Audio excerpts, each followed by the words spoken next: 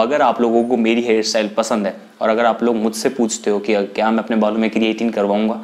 तो Dhoni sir John Abraham sir इनके बारे में सोचते से एक परफेक्ट पिक्चर बनती है इनके स्ट्रेट हेयर और इनको देख के लगता है, काश मेरे भी इतने लंबे बाल होते और मैं भी इन पे क्रिएटिन करवा के इनके जैसा परफेक्ट लुक अचीव कर पाता। पर bro back to reality Dhoni sir ने और जॉन अब्राहम सर ने वो हेयर स्टाइल अपने लाइफ के एक पर्टिकुलर फेस के लिए रखा था और वो भी प्रोफेशनल्स के एक्सपर्टीज के under by the way hi my name is Mohit मैं इस चैनल पे मेंस ग्रूमिंग मेंस फ़ैशन से रिलेटेड बात करता हूँ। तो अगर आप भी इसमें इंटरेस्टेड हो तो मेक श्योर आप चैनल को सब्सक्राइब कर लो ताकि आप और मैं मिलकर कम्युनिटी बिल्ड कर सकें। टाइटल पढ़ के आप समझ गए होगी कि आज की वीडियो क्रिएटिन के ऊपर होने वाली है, पर क्रिएटिन होता क्या है? क्रिएटिन करने के लिए आपके बालों में एक पर्टिकुलर केमिकल लगाया जाता है, जिसके बाद उसे लगा के थोड़ी देर के लिए छोड़ दिया जाता है।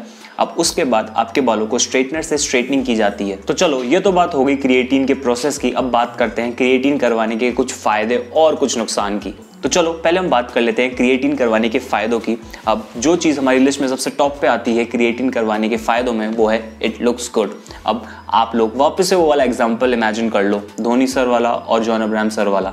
उनको देखते से ही मन करता है कि हम लोग भी बालों में क्रिएटिन करवा लें। क्रिएटिन आपको एक परफेक्ट लुक देता है, आपको बाकियों से स्टैंड आउट करवाता है, क्योंकि आधे इंडियन मैन के सर पे तो बाल ही नहीं है just because of our gene history और बाकी आधे जिनके सर पे बाल हैं, वो आपको देख के सोचते होंगे।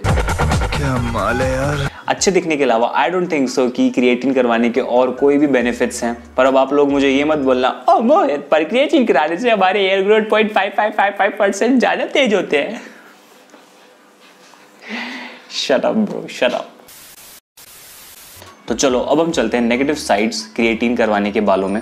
और इस साइड लिस्ट थोड़ी सी लंबी हो सकती है। तो हमारा नेगेटिव साइड का पहला पॉइंट है लाइफलेस हेयर अब आप लोग अपने बालों में या अपने शरीर में कहीं पे भी जब भी कोई केमिकल एक्सपेरिमेंट करते हो तो वो आपके नेचुरल हॉर्मोन्स के ऊपर अफेक्ट करता है और मोस्ट ऑफ़ द टाइम्स ये इफ़ेक्ट एक नेगेटिव इफ़ेक्ट ही होता है। तो जब आप टेम्परेरी अच्छे दिखने के लिए अपने बालों में क्रिएटिन करवाते हो, जो खुद में एक केमिकल है, वो आपके बालों को नेगेटिवली अफेक्ट करता है, जिससे कि आपके जो बालों में नेचुरल ऑयल्स प्रोड्यूस हो रहे हैं और नेचुरल क्रिएटिन जो प्रोड्यूस हो रहा है, ये उसे कम कर देता है या कुछ वीक केसेस में उसको ख़त्म ही कर देता है which leads to hair loss and even baldness अगली नेगेटिव चीज़ जो बालों में क्रिएटिन कराने से होती है, वो है हेयर फॉल अब हम लोगों के जीन्स की तरह हमारी हेयर डेंसिटी भी अलग अलग तरीके की होती है।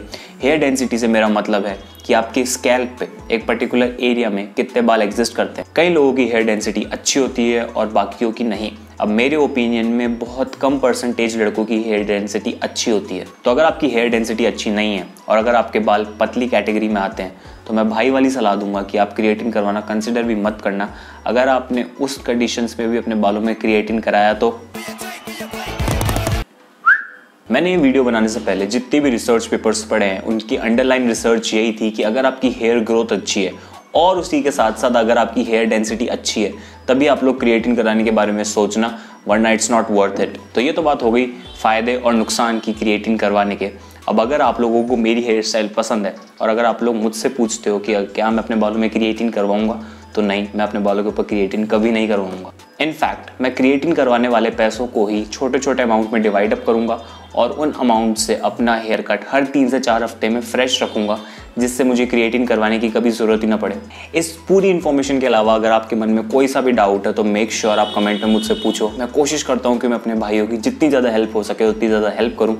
तो ये थी मेरी तरफ़ से आज की वीडियो अगर आपको वीडियो पसंद आई हो तो वीडियो को लाइक कर दो कमेंट कर दो शेयर कर दो और अपने एक नए फ्रेंड के साथ शेयर कर दो, जो शायद अपने बालों में क्रिएटिन करा के अपने बालों को लाइफलेस बनाने की सोच रहा है।